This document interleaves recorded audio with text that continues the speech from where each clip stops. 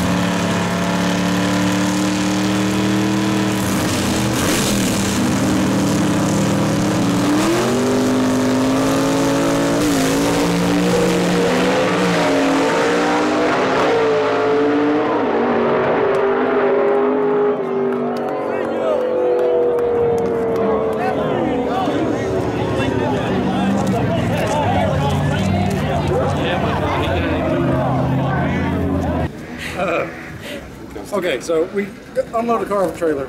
Had nothing but problems. Come here, Jerry, Jerry. Now we're having coke. But no, seriously. Let's smile. At- The carburetors were fouled, fouled every plug in the car. Distributor timing was way off. It's backfiring, acting crazy. So Mike Kell made editing Take two. Mike Kell let me use the carburetors, stuck them on there, and finally made me a pass. I missed second gear and got it in the second gear finally, and just decided I'm gonna run a quarter and run it down through there and shift it. Run a 10 and an 8, which is terrible. I, I held the line lock when I took off off the line, didn't let go of the line lock, left it about three. But I fought the car all day long and finally got one horrible pass in, but I did go down the track. So I turned it to 8,000 RPM in the water box and she was humming. So, Jerry's got a gasser. I'm gonna go start harassing him now. Yeah. There's more to come, people. All right. These two pounds light. That, that ain't no way. That's just, that's just, that's, I say it's pretty even. that's just pretty easy. Two pound Got it. Like Two dude. pound light too.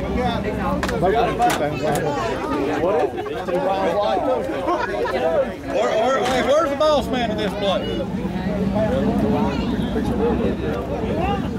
Well, if you both like it. Is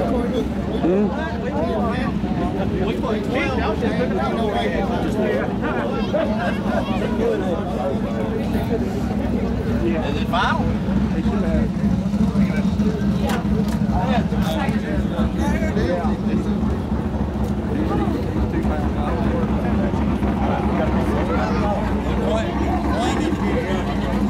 Now he's missing in action. I'm finally done. and We're gonna drag it out, right?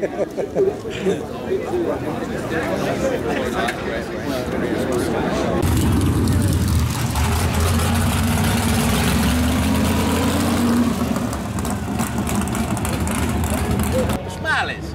Oh, her Chris, the rest of them. They went back to the trial? Yes, just got back around through there. He's coming. I'm good. I got enough. Come on, Chris. Where's Jess? We need somebody to dress his picture up. Jess. Jess was going that way with Jack or something. Hi, everybody. First off, this gentleman right here would like to thank each and every one of you for being a huge part of this program, which is, as you're well aware, now become pretty much the pace setter for all gasser competition everywhere. Guess why that's why I did Uh, For those of you who don't know, Queen pretty much had a choice, you could race and have fun or run the series, you know which one he chose. And between getting fights after the race is over and screaming at everybody while they change transmissions to handwriting ladder sheets and all that other stuff, he's actually done a pretty good job. So for once, somebody should probably give him a round of applause. Thank you, brother. Winner is C Gas. Best performance ever by the Freebird team, the Birch family. Jerry Excellent job, Jerry. And there was actually a little, little hand clap and a jump up and down when your wind light came on too. It was pretty good. I got you some money too. Yeah, you got some money. Smaller smile. Freebird! Freebird! Trophy for the winner of the A-Gas class. How many people here saw the final? Yeah! How many people will forget it? Exactly right.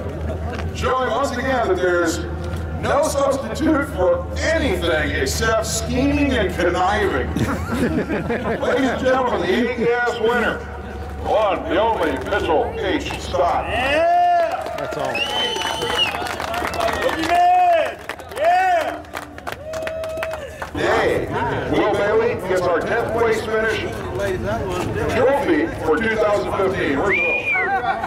Oh, there you are. I'm sorry to see sneaking up on you. Good job, buddy.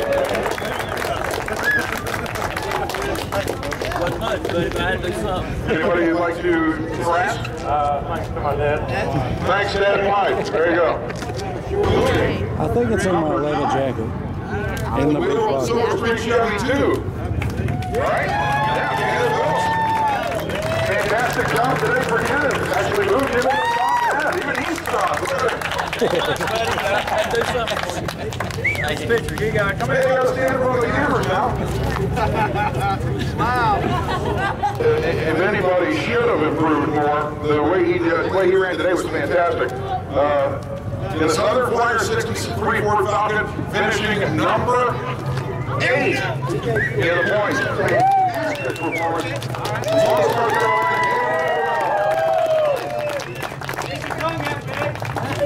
71-year-old in the big white Pensacola Chevrolet called the Intruder. Ladies and gentlemen, Johnny Daly.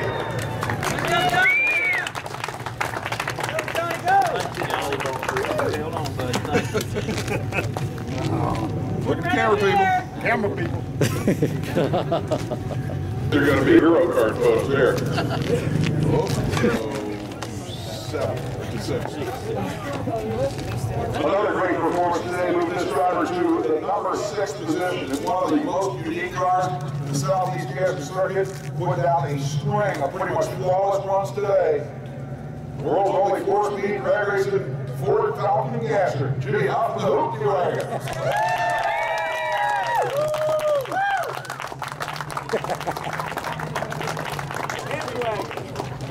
Powered by the experimental 289 Windsor. Last year's champion ended up finishing number five today. He also had a good run in today's eliminations. You know us as the driver of the Pale Rider, yellow 55 Chevrolet. Ladies and gentlemen, 2014 champion, number five this year, Shannon Smith.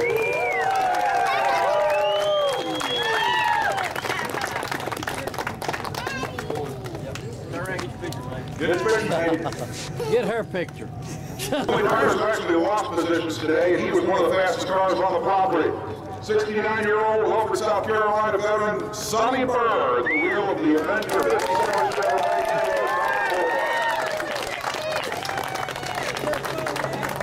Thank you, son. Wow, you're the first person wants Queen in this picture. That's pretty good.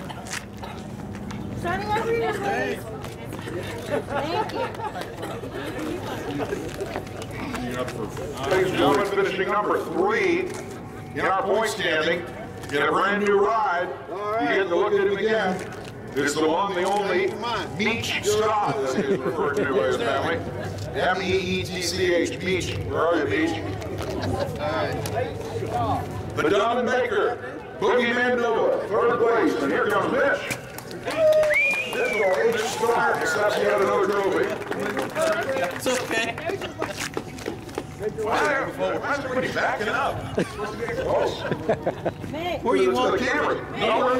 gonna there. You go. Okay. I can't get nobody to go get him, and if he don't want to come, we just. Everybody good? We happy? Yeah, stay there. There's a bit of confusion going on out here. Second place because of his performance today. You know, in the semifinal round, we had Ford versus Chevy on one side of the ladder, Ford versus Chevy on the other side of the ladder. And one of those Fords was indeed the Snake Bite Mustang from Belton, South Carolina, Jeremy Finley, who finished number three in the points. No, number two in the points. I'm sorry. He moved up from third to second. Jimmy Finley, not Jeremy. Oh, I'm glad you said that, because I'd have got this side. I apologize. I really. Thank you, It's his Thank y'all. Here, stop, stop, folks, stay. And that's it, ladies and gentlemen. Thank you. We'll see you next year. We'll be here. You know, I guess we'll do honors, and then if people stay here, we'll do here. As you are well aware, this circuit of racers, more than any other on the planet, whether it be nitro racers and funny cars or gassers and altereds and all other stuff, does its best to present drag racing from literally 50 years ago. That's a tough chore to present drag racing as it was 50 years ago. My point is, our point champion this year wasn't even born until 1993. Yet he has turned into an ambassador for not just this group, but for the earliest days of drag racing with people his age. Anybody that would come to one of these events would expect people like Gene Cromer or even Queen to be driving these cars. Anybody over 50? You're not over 50 yet. You're looking. Anyway, the very fact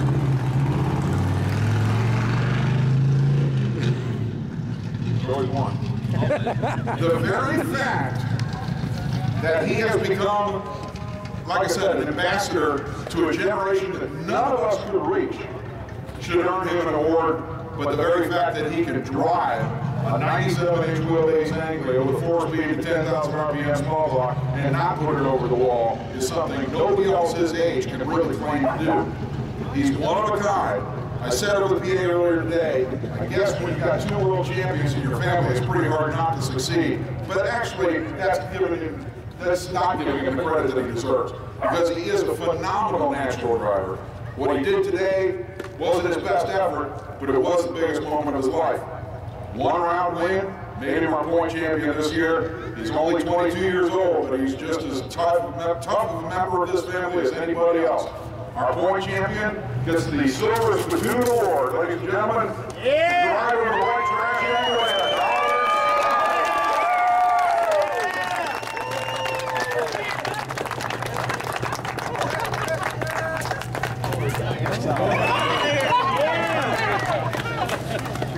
Good job, son.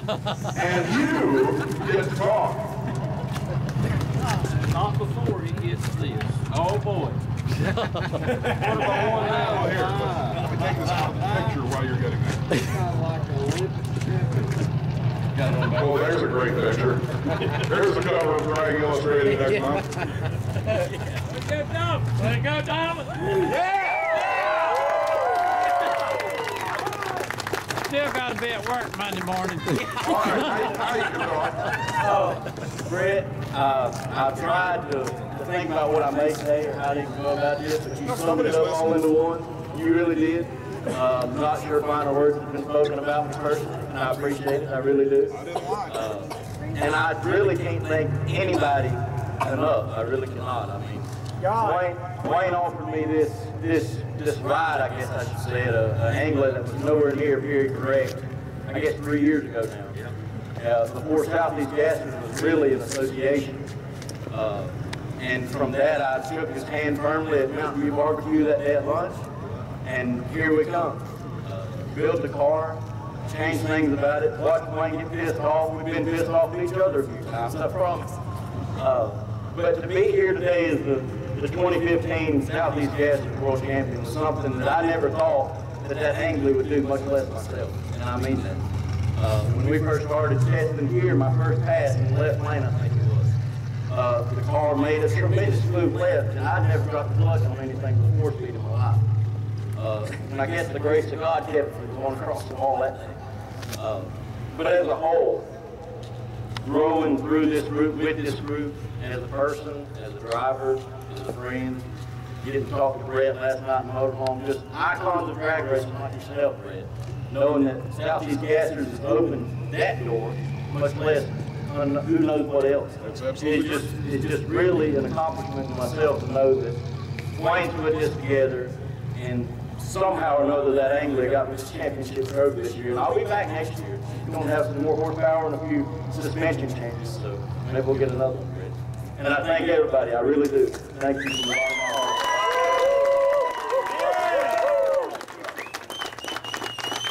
of my heart. I want to point out that when he's, he was talking about opening doors to the people that have opened doors for him. He has actually opened doors for this association because once again, he's reaching people that none of us could reach. We're all old idiots as far as most kids are concerned. That I mean, let's face it, we were all kids at one time. Did we listen to anybody who was over 50? Hell no.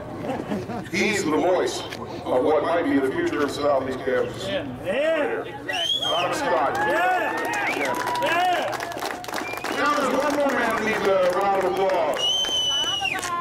That's the guy who allows us to come here twice a year, at the beginning of the year and the end of the year. Ladies and gentlemen, he gave you a perfect racetrack today. He gave you a full house of spectators. You presented the show that everybody wanted. Everybody was happy at the end of this day, including track owner Mike Greer. Yeah! Thank you. Anything you'd like to say, my friend?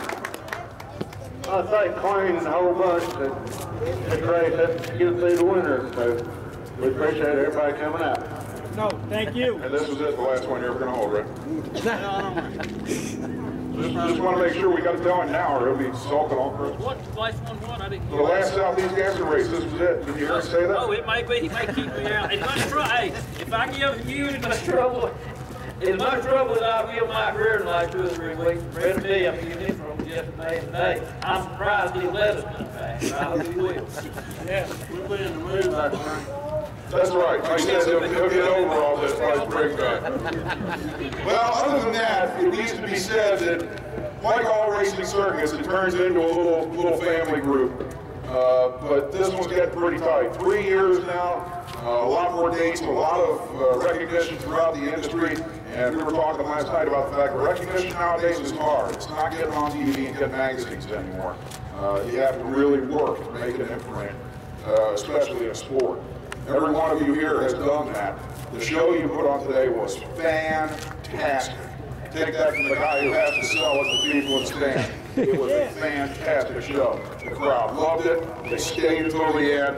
And the best part about the Southeast Gassers is the Greer dragway aspect of starting at 12 and finishing at 5, which you did. And I hope every one of you heard me, Brett Kepner, say over the PA after the second round of eliminations, the Southeast ra- the Southeast Gasser Racers did a fantastic job of getting this thing back on time. And we did. We finished by 5 o'clock with a major crash and an oil down. You guys did a fantastic job. And that's the key to the success of this circuit. A four-hour show.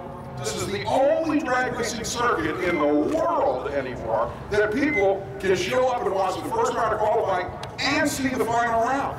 Every other circuit in the world takes eight hours to do that, minimum.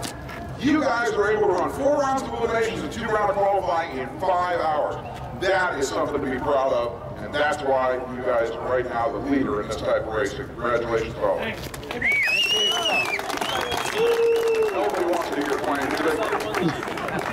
Man, my, bragging on this show getting done in five, four hours, whatever. I ain't get but These two people deserve credit for that.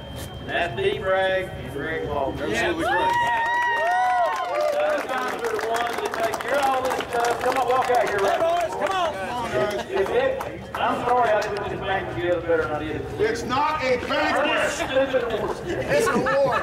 Anyway, Dee and Greg, y'all racers know how hard they work. A lot of fans don't. I promise you, I could not do it without.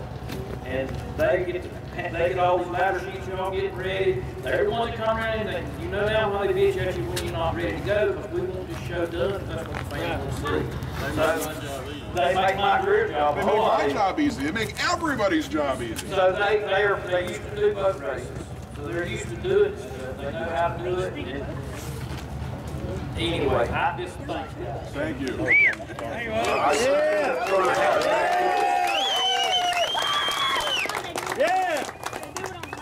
Like I said, folks, everybody here did a great job this year, and uh, I don't want to use too many personal pronouns here, but obviously I see a lot of races uh, throughout the year, and I, I definitely love to come to the spring and the fall race here at Greer because it is such a cool show, because the fans are so responsive, because it's the only real gasser racing on the planet. Uh, it's, it's all because of you. You've all done amazing things, and let's keep it up for next year. Thank you. Happy winter. See you next year. Good job. Very good. Yes, thank you. I enjoyed that win, Mike. Probably more than you. Bad luck. Appreciate it. That was cool. That's right. No, I love I to guess see you guys, you know will that. make First and on track. Great kid. I, I oh, couldn't agree more. On one. The man. He's a man. the voice of the world. Right? The voice of the world. He's done it all and been it all. Yeah. Huh? I said he's done it all and been it all. He's the I of didn't get a chance to say hi to you except for the one time you were leaning over the motor and you. Hi. I think of you every time I put on my shirt. Oh, well, thank you. Oh, okay, excellent. I'll be over. All right, let's load them up. Yeah. I gotta pull I'm him telling you, you got to name the raccoon Scully. Scully. Scully. There it is, folks. Scully it is. I was telling him he came to us last night. He said, We called him like. And he what he told about said. it. Yeah, That's it's unreal. That's awesome. Till You somebody keep, you shoots keep him putting out a because little cat food for him. He'll be your friend forever. Yeah. That's that's really cool. Tell the cool. racers do not go home till they get paid. And then he'll be standing up there with his hand out like, Here's an Test. Here's an announcement only Queen Stott would be stupid enough to think that you didn't already know. He doesn't want you to go home until you get paid. Hey, racers, don't forget to get paid. Trailer's back and cars are unloaded, and this is a wrap on the Southeast Gassers and Calamity Jane's first time out ever. Uh, I just want to thank Dennis. Thank you so much for letting me use your truck. I wouldn't have been able to go down there without it. And uh, Bones, Tony, I really appreciate you letting me use your trailer. I can't thank you guys enough. And most important, Dad, I can't thank Dad. He's been there no matter what. Helped me build this entire car, showed me how to build a car. And it's, in all, I think it was a success. I told everybody I'd have it ready by the final race, and I had it ready by the final race. So, 90 days to build an entire car. We figured up how many days a week and whatever, and come out to about 90 days since I got the car to the house. So, that ain't too bad. But I mean, I built every piece of the car. It wasn't just me bolt this on and drop motor. No, we built every piece. I mean, every piece of that car. Uh, everybody that donated parts, Kerry Fox helped me out with the uh, intake, Sonny Burr, the ladder bars, the bell housing, Colton, his whole motor, uh, uh, Bobby Turner, YouTube. He sent me a set of heads, which is the heads that's going to be going on it. And then 600 lift springs might give me a different cam or something. Uh, David Cade, just everybody. Thank Carl for helping me all the time, being a part of the, the build and welding stuff here and there. And doing what she does. She's learning. So Colton, can't thank him enough. Casey for coming out and filming. Just everybody's been a part of the car, been supporting the car. I just want to thank all y'all. So, hopefully I'll fix it and make some passes down at Shady Side. Jimmy was telling me the Shady Side stays open for two more weeks, so maybe I'll swap heads because that thing is poor. It's just smoking so bad, just pouring smoke. Uh, so I'm guessing it's uh, valve seats on them old heads because it's done that ever since Colton put that motor together. So I think I'm gonna pull the heads, uh, rebuild my carburetors one more time, get them right, and uh, maybe take it to Shady Side. Try to leave a line at 6,000 because when I run down there at uh, Greer, I turned it to eight in the water box, which was awesome. And brought it up there and staged it and went to go take off and only turned it to about three and didn't let go of the line lock and didn't get into second gear till almost into the eighth mile. Then I went ahead and went through second, third, and fourth, about running into the trees. But it was fun. I'm I'm tickled. And thanks Mike Cowan for letting me use them carburetors. Mike pulled the carburetors off his car. Mine were good when I loaded it. And must have blew a power valve or something at some point or did something stupid. I'm gonna pull them apart and see. It was a success. We're gonna make it go a little quicker now. But we're good straight. But it's all that matters.